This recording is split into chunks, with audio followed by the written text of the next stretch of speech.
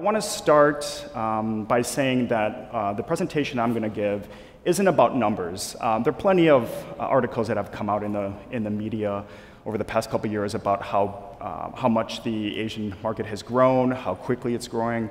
Uh, just uh, two days ago, I think there was something in the Financial Times saying that the Asian market, um, or sorry, emerging markets for specialty coffee, or coffee in general, grew by 10% in 2012, which is one of the uh, largest rates of growth uh, in history of coffee. Um, and Russia and China were listed as two of the sort of uh, driving forces behind this growth. So there's just a lot of data out there. You know, it's pretty interesting, but that's not what I'm going to talk about. I, I want to focus more on sort of the nuances of the Asian market. I want to start by just telling a, a personal story from my childhood. Um, bear with me, it's, it, uh, it, actually is kind of funny at the end. But um, when I was a small boy growing up in suburban Milwaukee, Wisconsin, where I'm from, uh, there were two things I remember that were always in the kitchen cupboard. One was a short, uh, clear jar of Sanka instant decaf, and the, uh, right next to that was a taller, opaque jar of Carnation non dairy instant creamer.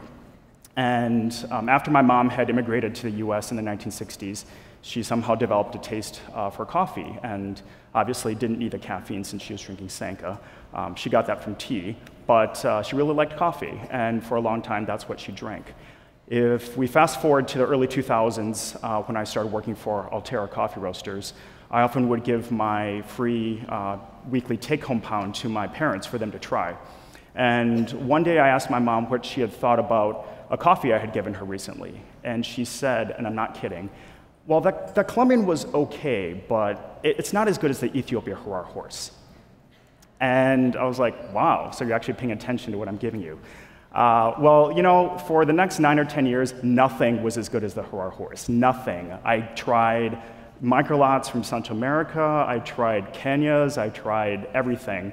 Um, even other natural process grade 4 Harars, thinking, well, you know, that's her, that's her thing. She likes a Harar. No, it wasn't as good as the horse.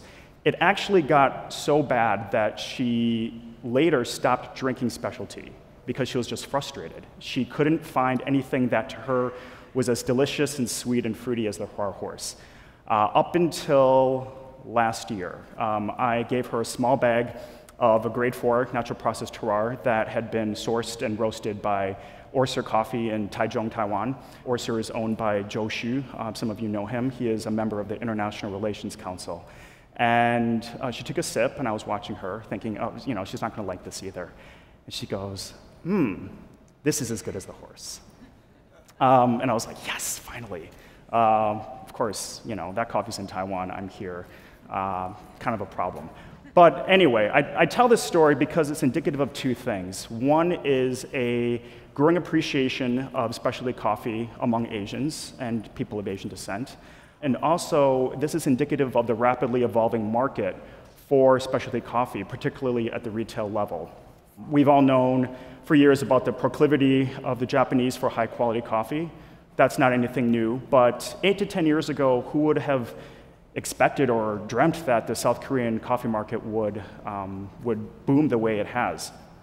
In 1999, uh, Starbucks entered uh, mainland China with a couple stores, one of which was infamously located inside the Forbidden City.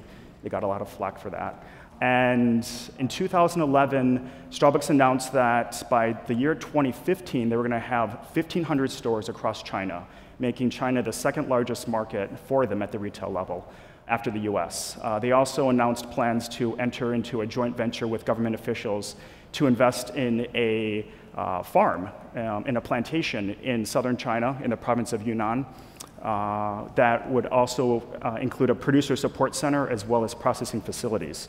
Um, also, specialty coffee is making uh, some inroads in Southeast Asia in the metropolises of Bangkok, Kuala Lumpur, uh, Singapore, Jakarta. Uh, let's not forget what, um, what's going on in India as well, but I'll let uh, Sunalini Menon tell you about that herself because I know nothing about India. Um, you may be wondering why this is all happening so fast. Um, it's pretty easy, just comes down to one word money. Um, as the economies in Asia continue to boom, uh, the level of uh, personal income is, is higher than it was before, and this leads to increased consumer spending. Uh, what's interesting is that specialty coffee is perceived by many in Asia, particularly uh, younger people in, in urban centers, as being hip and trendy and Western. Um, and as more people enter the middle class in places like China, uh, this market will just continue to grow. And it's not necessarily because people actually like the taste of coffee, but because it connotes wealth and status. Um, there's an interesting kind of phenomenon that happened in South Korea. In 2007, there was a, a very popular TV drama called The First Shop of Coffee Prince. And it was an instant hit. Um, two years later, was followed by another TV drama called Coffee House. And both of these series have actually been credited for helping to fuel the frenetic growth of the South Korean cafe scene. And for those of you who have been to Seoul or other cities in South Korea, you know what I'm talking about. It's, it's crazy uh, how many cafes you see on the street. Um, just last November, I was there for the uh, annual Seoul Cafe Show. And one of uh, my customers was telling me that up until recently, you never really saw people walking down the street with a cup of coffee in hand. But um, now uh, they were starting to see it, and it, he attributed it to a very popular American TV show that had been uh, broadcast in South Korea called Sex in the City. And in Sex in the City, uh, the character played by Sarah Jessica Parker is often seen walking down the streets of New York with a cup of coffee in hand. And people in South Korea, men as well as women, thought this was cool and hip, and so they started doing it themselves. Um, so you, you kind of get an idea of how quickly things catch on in, in Asia, you know, especially with um, social media and internet. Uh, trends develop really quickly and they just take off. And sometimes just kind of like left there standing, you know, wondering how did just, this just happen? Um, but it does, and, and that's, that's how Asian consumers tend to operate. I don't want to give you the impression that commercial grade coffee doesn't exist in Asia. It certainly does. It's still um, a large part of the market. Uh, Nescafe in particular is quite uh, prevalent. Uh, in China, you can buy Nescafe in little packets with powdered milk and sugar that are already mixed in. You just dump into a cup and add water. Um, that's, you know, for a lot of people, that's coffee. Um, but for many young consumers, um, we don't necessarily need to, quote unquote, convert them from commercial grade uh, to specialty. If we think of them as kind of like a blank canvas, and we in this room are the artists, you know, we don't, we don't need to use the Crayola, Crayola watercolors. We can jump right to the oil-based paints because they don't know any better. Um, we don't need to kind of coddle them and bring them up. You know, they're ready for, for the real stuff. It's also interesting to note that many Asian coffee drinkers don't really know where coffee comes from. Um, you know, if they do, they may think, oh, it comes from Brazil or Colombia. But um, you know, I think that gives a lot of origins the opportunity to brand themselves as specialty origins, particularly countries like El Salvador and Honduras, um, countries that don't really sort of figure into people's uh, knowledge of the world. Um, but yet, here's a micro lot from this country that's outstanding, and oh, Honduran coffee must be, must be amazing, or Salvadoran coffee must be amazing. Uh, which isn't to say there aren't amazing coffees from Colombia and Brazil, of course. But um, for, the, for the countries that aren't as well known um, in the Asian coffee market, I think it's, you know, again, a blank canvas. Finally, there are just a lot of people in Asia, millions and billions of them. And if you think uh, that this market is just now really picking up, who knows where it's going to go? Uh, you know, really, I think uh, the possibilities are almost limitless.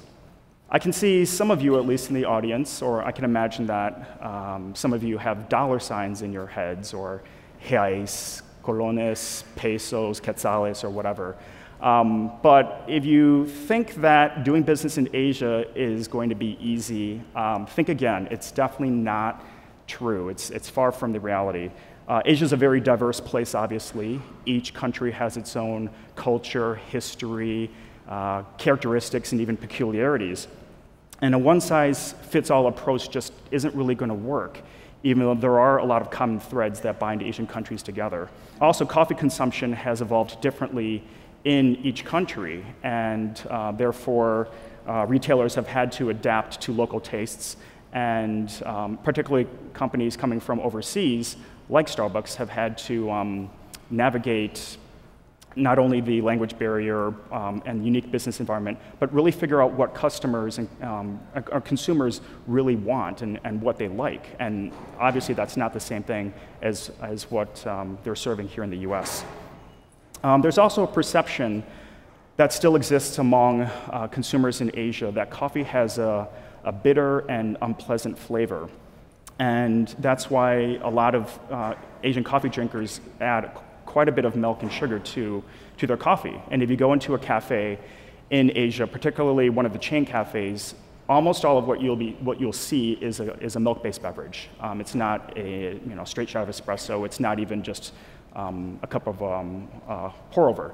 Uh, it's, it's a milk-based beverage. So I think the end result is that a true appreciation of specialty coffee, as we in this room may define it or know it, um, may still be somewhat limited, especially relative to the potential size of this market. But I think it's worth noting that um, this, this market this in Asia is still in its infancy. Um, it certainly doesn't have the longevity that uh, the North American and European markets have. Um, so again, it's just getting started. It's going to take a little bit of time, but um, you know, we, should, we should just be aware of, of what's going on. Uh, one of the obstacles um, of getting into the Asian market is um, the risk of mislabeling and false branding, what I would call sort of the coffee version of intellectual piracy. Uh, we're already hearing rumors of um, limited volume, high quality coffees, um, or sorry, high price coffees, um, such as Jamaica Blue Mountain, Hawaiian Kona, more recently Geisha Varietal, and uh, Kopi Luwak, the infamous Kopi Luwak. These are being uh, allegedly cut with uh, other beans, cheaper beans, and still sold as 100%. And in, in some Asian countries, there's a lack of a, an effective consumer protection agency to deal with this. And also, it's just really hard to prove. So uh, that's kind of um, cutting down the integrity of, um, of these products and, and sort of the appeal of wanting to sell these types of products in the Asian market.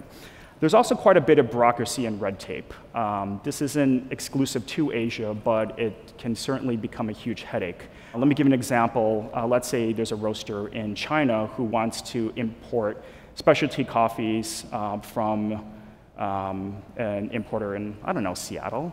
Um, and uh, this importer in Seattle to, in order to sell those coffees, needs to provide the original ICO certificate of origin for each coffee in that order, even if it's just one bag. And so if you can imagine the, the roaster in China wants, oh, two bags of your, you know, your, your relationship colo, five bags of your Hondo microlot, blah, blah, blah. You, we have to send the original documents for each of those um, coffees. And even if it was for the, um, just one bag, that documents representing the whole lot, which means we cannot sell that same coffee to anyone else in China because the document's already gone. And they need these documents to help the, uh, get the coffee through customs, and even those documents don't always, aren't always enough. Um, kind of a mess. I'll tell you more about that later if you're interested. But um, even if your company's on the smaller side and um, and or you have no, uh, no interest in Asia, I think it's still worth being aware of this market um, just because of the increased demand for higher quality coffees um, in Asia, particularly coffees from Central America and East Africa. Uh, there are buyers in, from Asia who are already going on sourcing trips to origin, and they're often looking for the same micro lots that we in North America um, have been used to getting uh, for ourselves. Um, so obviously this phenomenon presents a huge opportunity for producers and exporters at origin, but for roasters and retailers uh, here in North America, um, they're the new competition and they're not going away. So it's um, kind of you know coming out of left field and, and they're just growing and growing. So regardless of your place in the industry, the Asian market's already here. Um, it's only going to get bigger. Uh, like I said, it presents a great opportunity for some, and a threat to others. But if we think in general terms of the North American market perhaps um, continuing to mature, uh, the rapid rise of Asia as a new frontier can only really be a good thing, um, particularly for producers, exporters, manufacturers, um, even some importers, roasters, and retailers who, who see opportunity there and want to take advantage of it. Um, the sky's practically the limit, and the prize goes to whoever can navigate what's admittedly a really complex business environment. Thank you for your attention.